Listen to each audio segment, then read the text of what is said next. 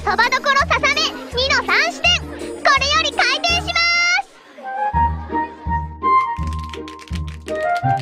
さあ本番だ。お客さん来てくれるかな。なんてのんびり考えてたのに。お蕎麦屋さんってここ？3人だけど入れる？いらっしゃいませ。あちらのお席へどうぞいらっしゃいませすごいな朝からずっとお客さん続いてるこんなに盛り上がるなんてお次森行くよラジャー盛り上がってるのは嬉しいけどい忙しいよへえすごい。座敷ができてるよ。ごちそうさま。美味しかったよ。あありがとうございます。お座敷も評判いいしみんな美味しそうに食べてる。嬉しい。なるややさん。そろそろ生演奏タイムです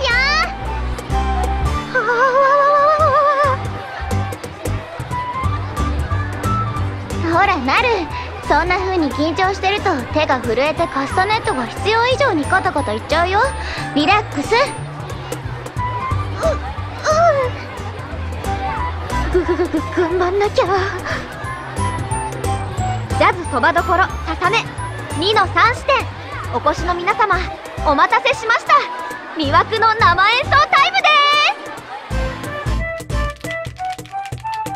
すうーやっぱりする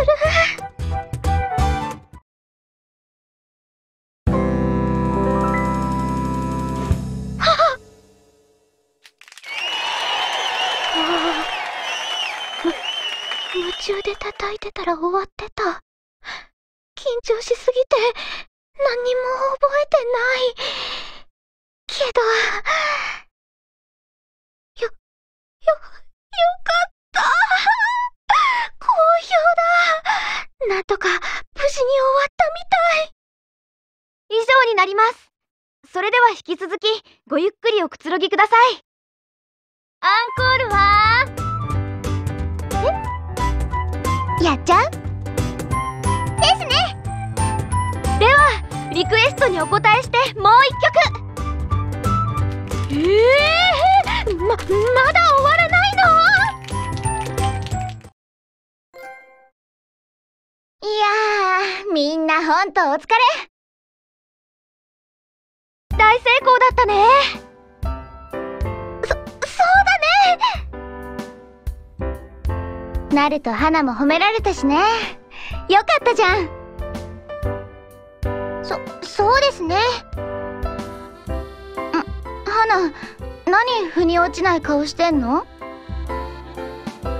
褒められたのは嬉しいんですが、面白かったというコメントが若干気になります。笑ってたし、大丈夫でしたでしょうか？あ、うーそれは確かに何かやらかしちゃったのかな？頭真っ白だったから全然覚えてない。だって二人ともすっごい真剣な顔でトライアングルとカスタネット叩いてるからさ。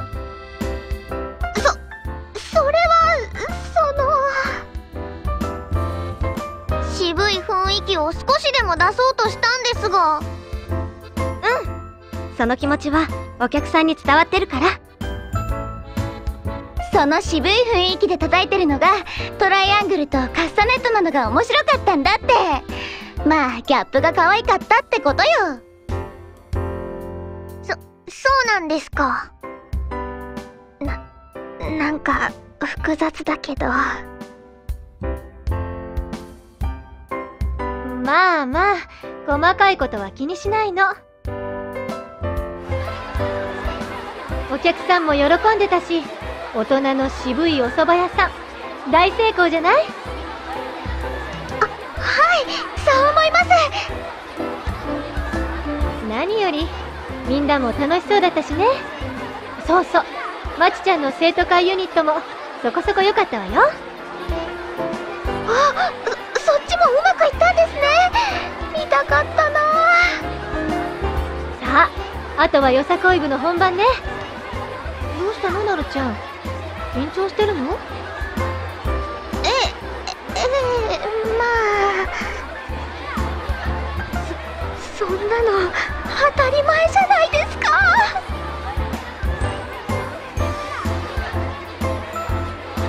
なんなのこの人だかり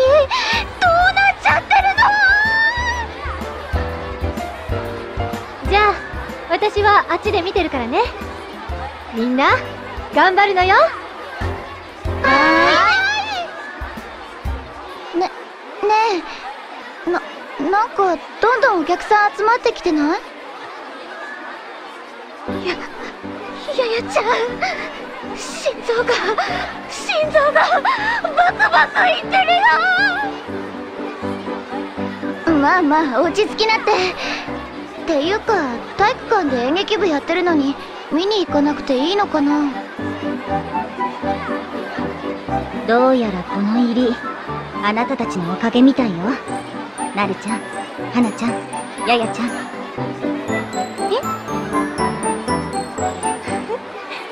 お客さんの声聞いてみてみんな。これさっき面白い蕎麦屋やってた子たちの部だよね楽しみ。やや先輩も出るんだよね。さっきみきおたちのバンドでドラム叩いてたのかっこよかったね。そうだね。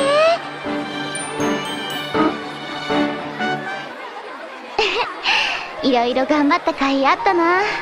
クラスのお客さんとバンドのお客さんが両方集まってるみたい。そうだね。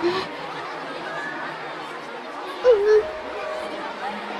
花ちゃん泣いてる？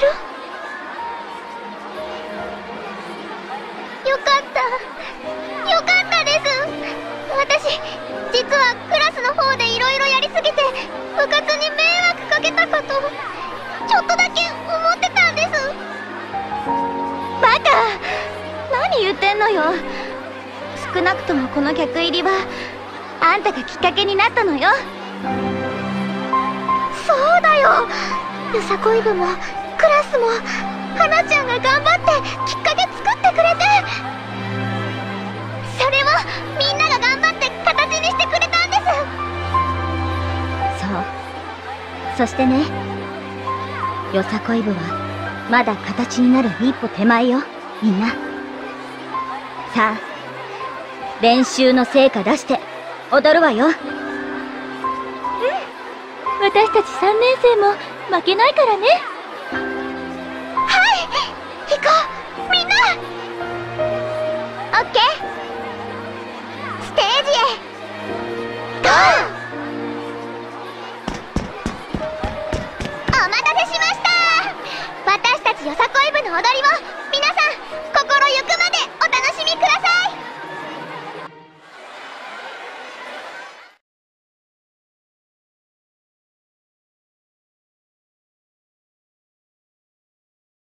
一緒に頑張ろうね。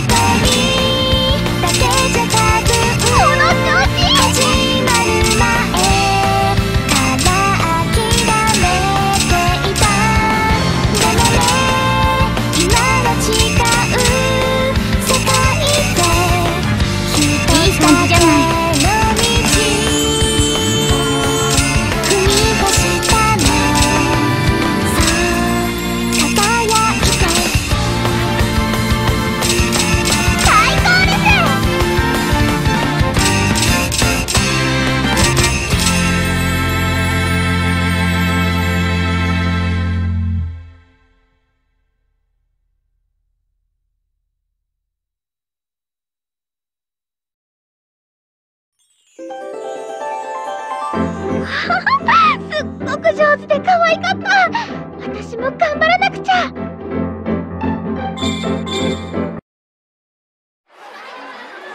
お待たせしました。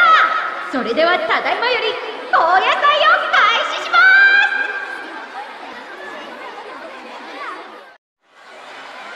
ファイヤーストーム点火準備はいいですね。では3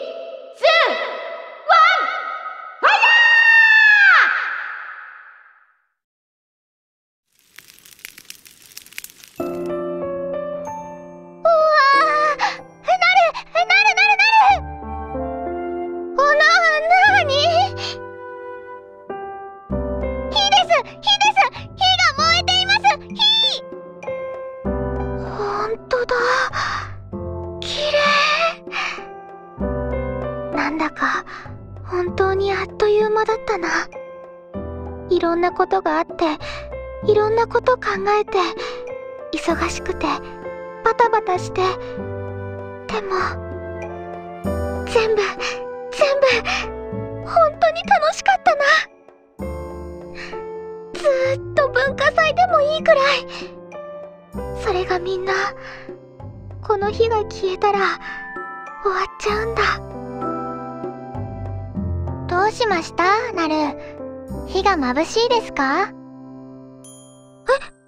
やだ私涙目だった。こ困っちゃうな。涙もろくて。あ そうだね。火が眩しいね。うん。あ花ちゃんも寂しそう。ねえ本当に何もかも大成功で本当よかったね。そうだね信じられないくらいいろんなことがうまくいったよねはい私こんなに楽しかったの初めてですそうね。こんな成功の文化祭はなかなかないわよ。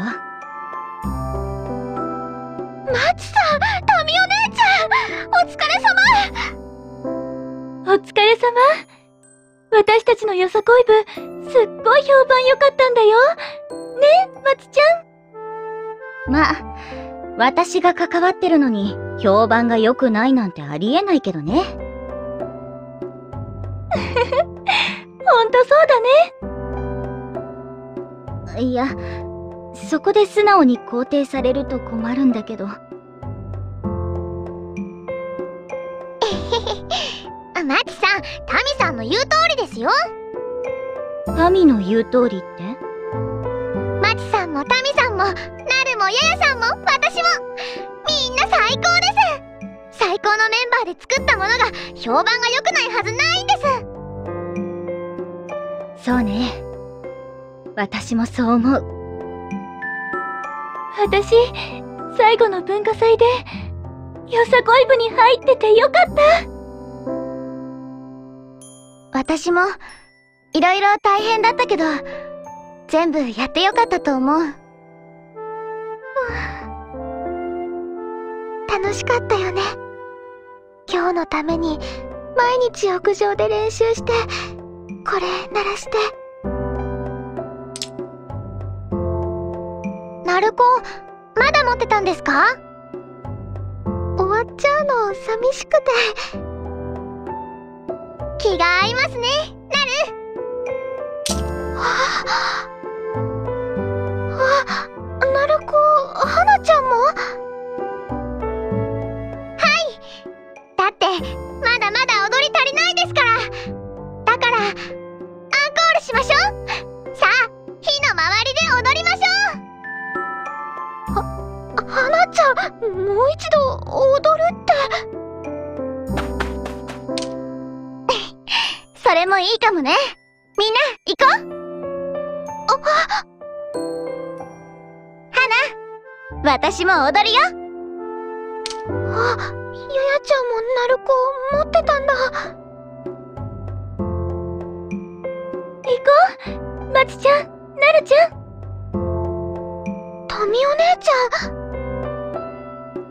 仕方ないわね。踊っちゃう？松さんまで？ああの踊っちゃうってその柄にもないなんて言わないでよ、なるちゃん。だって、踊りたくなったら、止められないじゃない。なるちゃんは？踊りたくない？私はあっちで待ってるよ。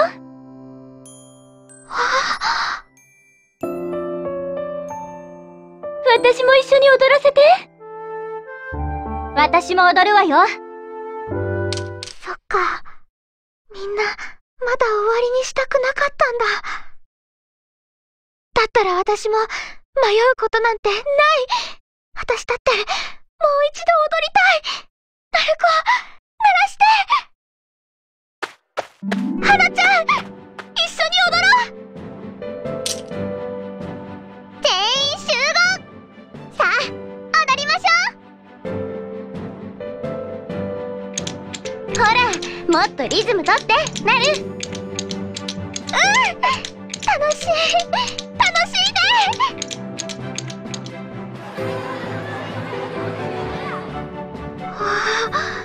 みんな見てる。でもなんでだろう。恥ずかしくない。すごい。楽しい。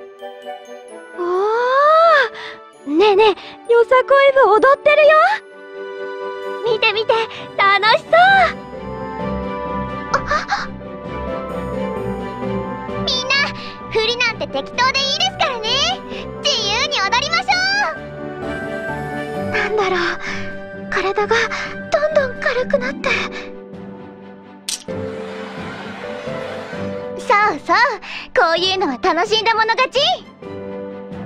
心臓の音が鳴子の音と一緒になってすっごいドキドキする。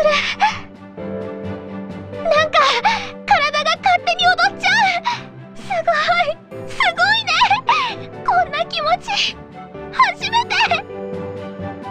夢みたいだね。火が舞い上がって、みんなが踊って。ま、夢なら夢で、こういうのも、ありじゃない？そうですよ。夢だっていいんです。そうだよね。夢だっていいんだよね。もし夢だったとしても私絶対忘れないみんなと一緒に踊ってるこの瞬間をずっと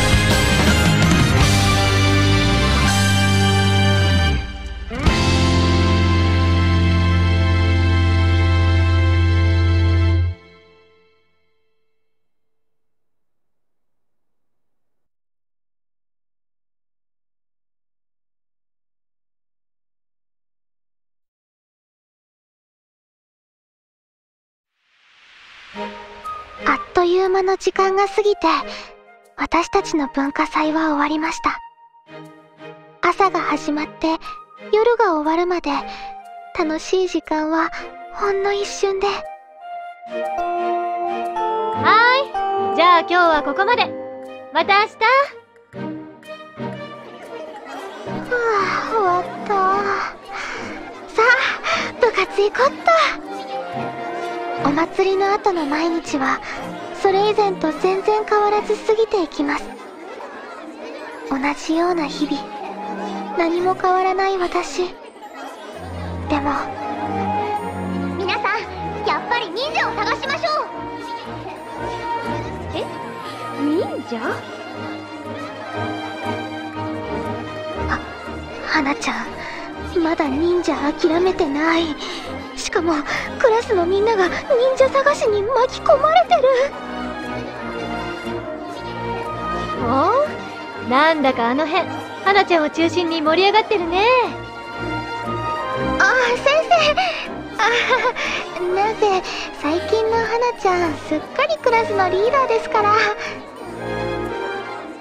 そうね。とはいえみんなで忍者探しはどうかと思うけど花ちゃんとややちゃんのおかげで文化祭も大成功でしたもんね。ちょっと待ってなるちゃん。今花ちゃんとややちゃんのおかげって言った？あは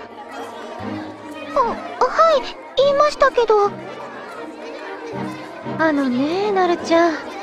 誰か抜けてない？だって花ちゃんが和風にする提案してややちゃんが蕎麦屋のスーパーバイザーで2人が頑張って。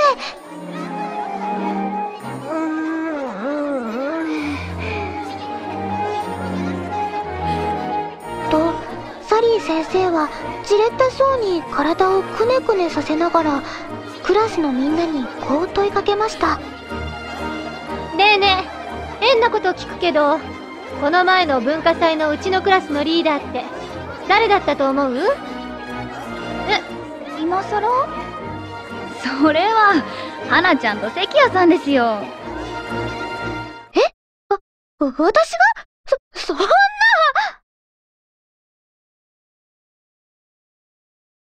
えー、そうだよ。だって実行委員じゃない。大活躍だったよね関谷さん。そんな私なんて何もしてないよ。ただまごまごしてただけでえー、花ちゃんがちょっと暴走した時も関谷さんがサポートしたりいろんなアイデアを出してくれたからうまくいったんじゃん。関谷さんのさなんていうかきめ細やかなサポートできる気配りみたいのってリーダーには必要な資質だよね。嬉しいけどみんな褒めすぎだよ。ほーらみんな言ってる通りなるちゃんはできる子よ。だから自信持ってね。そうそう。関谷さんはできる子。できる子。ああそそんな。よさこい部のステージも関谷さんすっごい踊りまくってたし。うんうん。超かっこよかったよ。うん。普段の関谷さんからは想像もできないっていうか可愛かったし迫力あった。ありがとう。なんか恥ずかしいよ。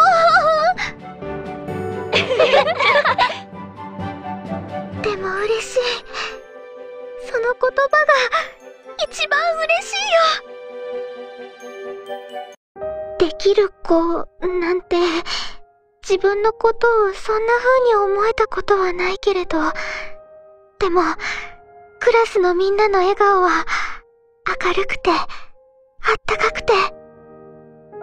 あれ？花は？まだ来てないの？なんか、さっきクラスの子たちと忍者探すって話で盛り上がってたから、それで多分。はあ、毎日毎日楽しそうだよね、ほんと。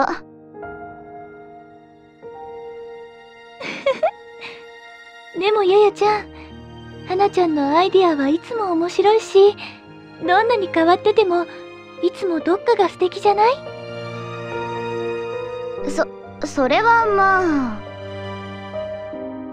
それに、あんまり暴走した時は、なるちゃんが頑張って軌道修正してくれるし。ね、なるちゃん。私？それは、そうね。なるがいるから安心できるよ。うん、頼りにしてる。み、みんな、ありがとうみんな、